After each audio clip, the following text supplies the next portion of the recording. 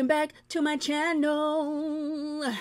Hello, welcome back to my channel. I'm Tia, and I upload four times a week, Tuesday, Thursday, Saturday, and Sunday. I do mostly synthetic wig-related content here. We are multicultural, we are inclusive. I do name brand wigs all the way to affordable beauty supply store beauties. And so if that is what you're looking for, you have found it. So you should hit subscribe and the bell so that you don't miss any of my uploads. Okay?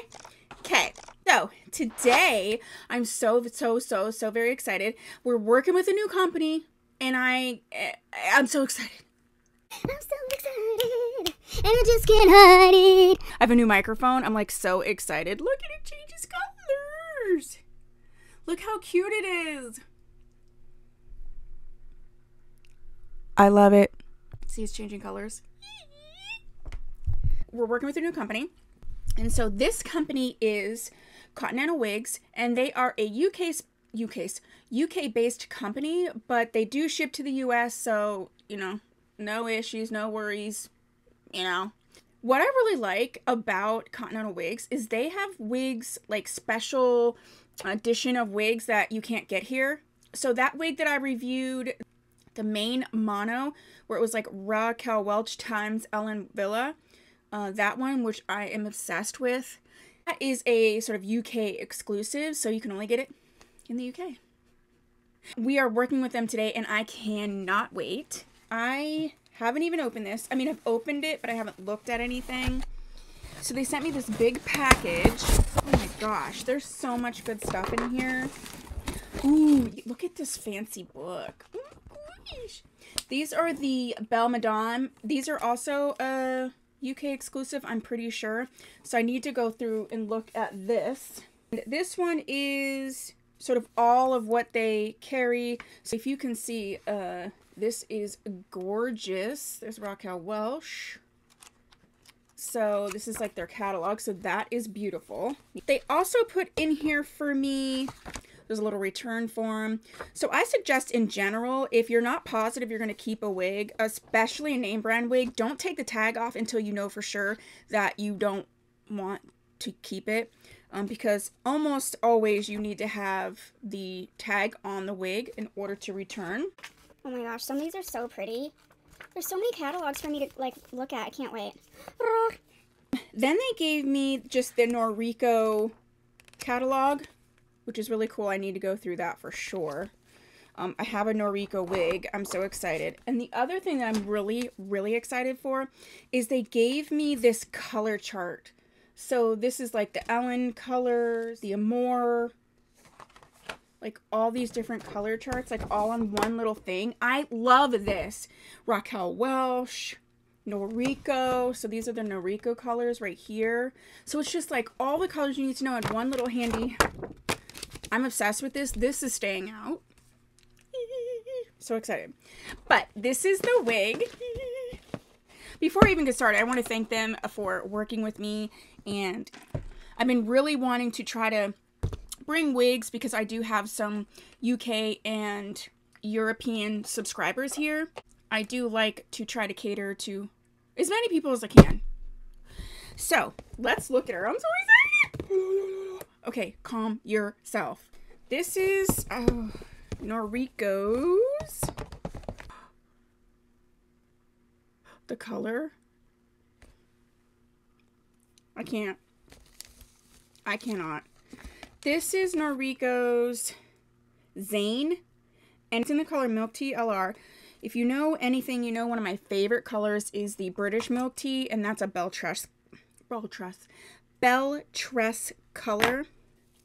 I can't. This color is, I'm already dying for this color. I'm already dying for this color. Look at that color. Oh my, my, my, my.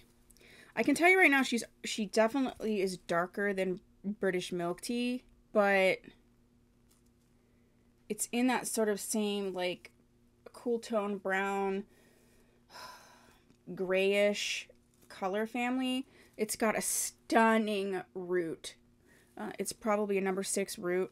It's not quite as dark as a number four. I cannot. So let's get the deets on Zane. Because this isn't a wig I've heard of. So either it's new or I just haven't heard of it. Okay, so Zane, it says that it is a lace front monofilament part. So you can see here, there's a beautiful lace front. And then you have the monofilament parting right here. The rest is sort of a comfort cap and then the rest is mesh. There's no combs in this wig. And they have the bra strap type adjustable straps. Some people like were saying something about wefted wigs. You know, there are various cap constructions, but a wefted wig cap really can be good for those of you who maybe are getting a little hot with your wigs because it does obviously give a little bit more air and flow through the cap. I don't think this is a heat safe wig. It does say that Milk Tea LR is a newer color, so that is good to know. Many of the companies are coming out with like either coffee type colors or you know just those type of colors. So Noriko has some of my favorites. They have that melted coconut the melted marshmallow. I love those. I think I've tried the iced mocha and also the mochaccino. Love that too. Yeah it does not appear to be no it is not heat safe. Okay so let's get her on I'm so excited oh the wig that I was wearing Sensationnel's unit 16 uh, from their butter lace line, and it was in the color Flamboyage Mocha. And it was a collab, it was a review collab video with OMG It's Cat, so check that out. So I'm shaking her up just to loosen up the fibers a little bit. She's feeling a little snug on me. Um, I am, my measurements from ear to ear, I am 11 and 3 quarters. From front to back, I am 14 inches. And circumference I have is 21.5 inches. So for the most part, it's a petite average depending on the company. I'm going to take my wig cap, wig cap grip off. Wearing a wig grip in general can help if you do have a wig that is a little bit big. It can help it be snug. Um, and if you find that a wig is a little snug and you're wearing a wig, you're wearing a wig grip, you might want to take the wig grip off, you know, because it does take up some space in there. Oh yeah, much better. Oh my gosh, this color. Oh. Okay, so um I'm loving her. I'm already loving her. So there you can see the monofilament parting.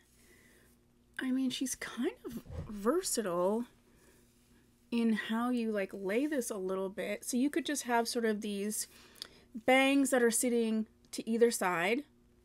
You could do more of a, you know, people like to do sort of that you know, deeper swoopy situation. You could do that. It's looking shiny in my light, so I'm just going to turn this light down because I want you to see that's not any better. I'll take some photos of this and I'll take some photos like outside and during the day because it's not it's not shiny. My studio lights just, just sometimes there's nothing I can do about that. But I'll put additional pictures in. I'm sorry. I am in I am in love with this wig. So like I said, you could have it be sort of not quite middle parted, but you can mess around with the part because it is monofilament. She feels good. This is, you know, definitely it's not it's a silkier fiber, so um, there's not much texture to it. I can't. I can not. Let me mess with her for a few minutes and then, you know, because anytime you get, especially a wig in general, you need to, you know, mess around with a wig just so it works, you know, where it's sitting on you. Um, but especially when there's bangs, everybody has different preferences. Preferences. Everybody has different shapes uh, for to their face. So um, sometimes it's just a matter of like working around what you got. I wonder if I could just, ooh, look at that rooting. I mean, it is a lace front. This is my hair right here. So I feel like, could you just make the whole thing go back and like to the, to the, to the back, to the back. All right, let me play around with this wig and see where I can get her and then we will talk. Okay? How do I feel about being uh, a member of the Information Society? That's a difficult question because I didn't know we were in the Information Society.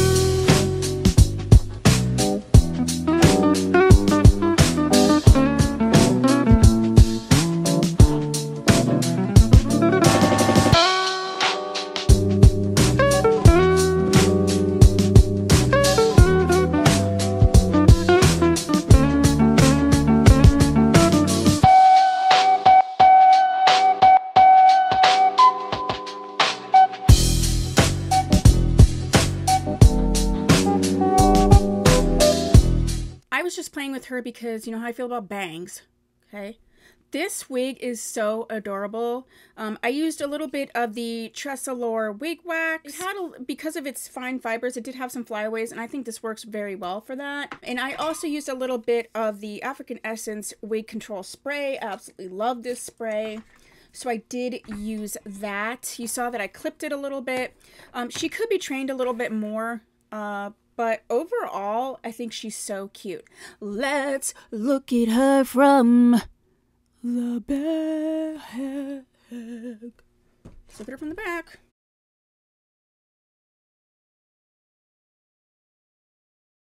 Let me put my, cause my hood, mama, my hood is kind of in the way. Oh yeah. See?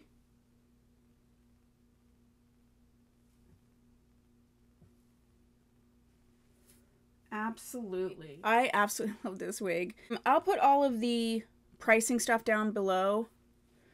I would say she's probably in the 350-ish. I'll put it down below because I need to put both the uh, US and also Euros as well down there.